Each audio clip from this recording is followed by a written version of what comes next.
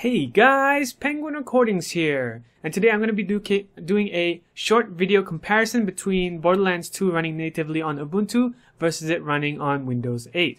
So I haven't done a video in a long time, I know, I'm sorry for that, I've been busy with my work as a beginner network engineer.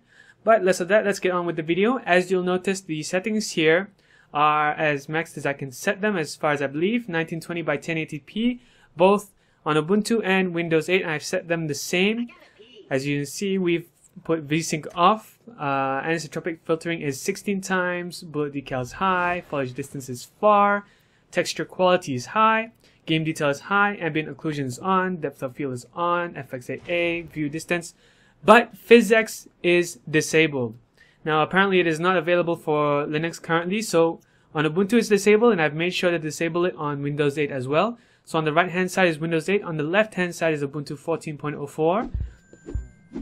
Now, the videos won't be perfectly synchronized, so this isn't a perfect benchmark. I am sorry for that, but as far as I know, there isn't any way to properly benchmark this game. I could be wrong. So what I've done is I've tried to play through the intro for a short bit and try and synchronize my actions between the platforms. So on Ubuntu, I'm using GLX OSD to represent the frames per second on the top left there. And on Windows 8, I am using MSI Afterburner to present the frames. That's why you see D3D9 on the Windows 8 side.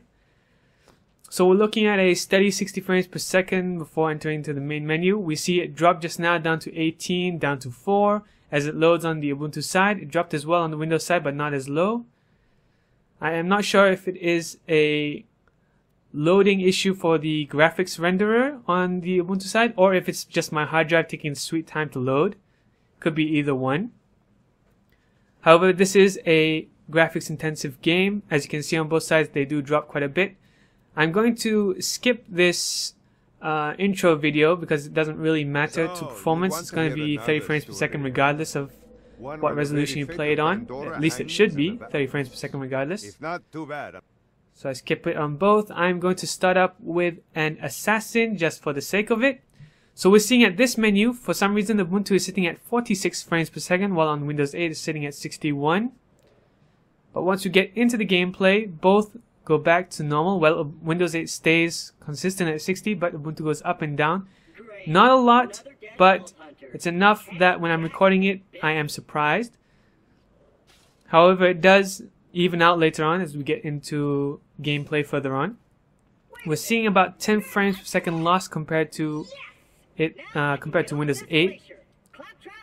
This is still a fresh port. I don't believe it's been updated yet as of release. I could be wrong though. 48, 50 frames per second versus Windows 60.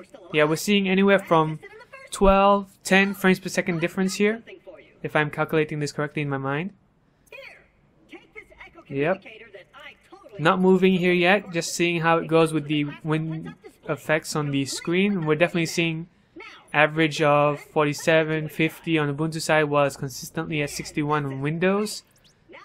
So yeah, this is about 15, 10 frames per second difference with Ubuntu being on the lower side. I am using the 340.46 drivers for Ubuntu and the 340.43 drivers for Windows 8 if I'm not wrong. They should be the latest that I can get my hands on, stable. Now I will note that I played this co-op with a friend on Arch Linux and a friend on Windows 7 and it is absolutely awesome. I cannot notice any frame loss when I'm actually playing.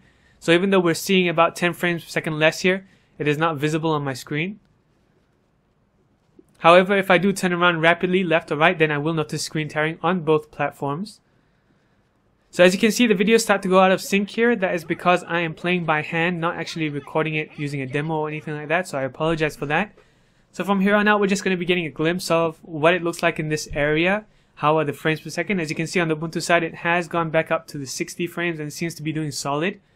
I'm not sure if it's initially taking its time to load the scenes, and so that's affecting the frames per second or not.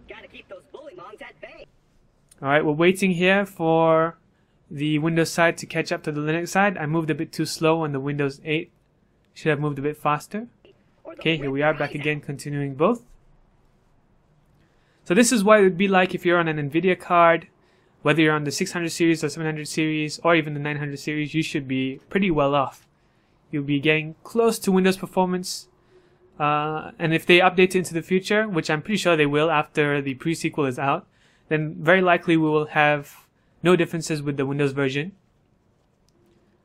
Currently, there are two diff major differences between the Windows version and the Linux version, but I'll get to that at the end of the video.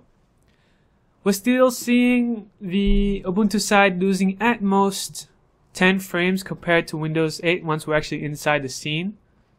It's just that beginning part where the wind was blowing about. Maybe maybe it's not so good with the uh, particle effects. I'm not sure what's happening there.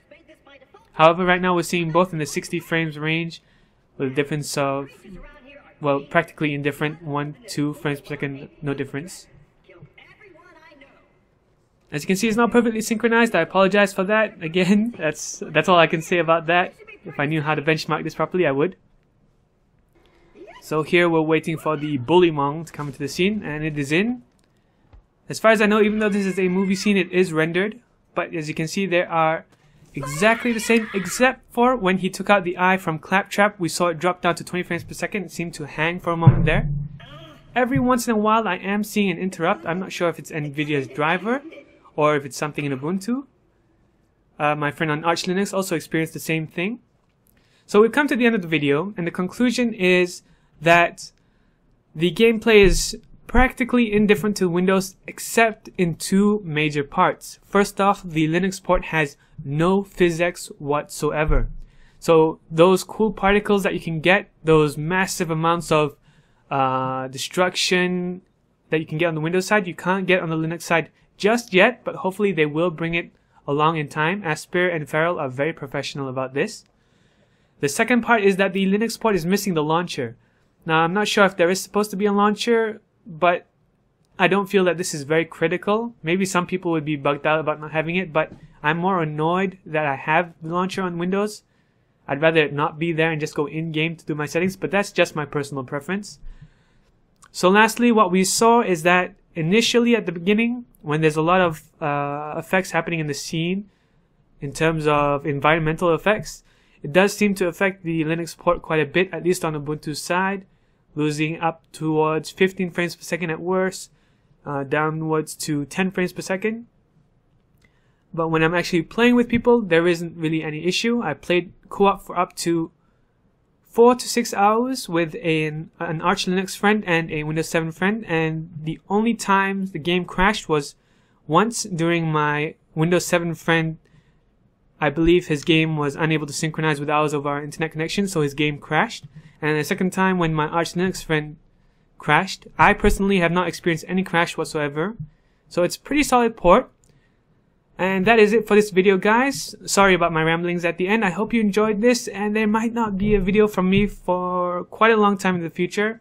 If I can set aside time, I will. I hope you enjoyed this video. Please leave your comments, your ideas down below. I do read them even if I can't always reply to them. I hope you enjoyed watching this and thanks for watching.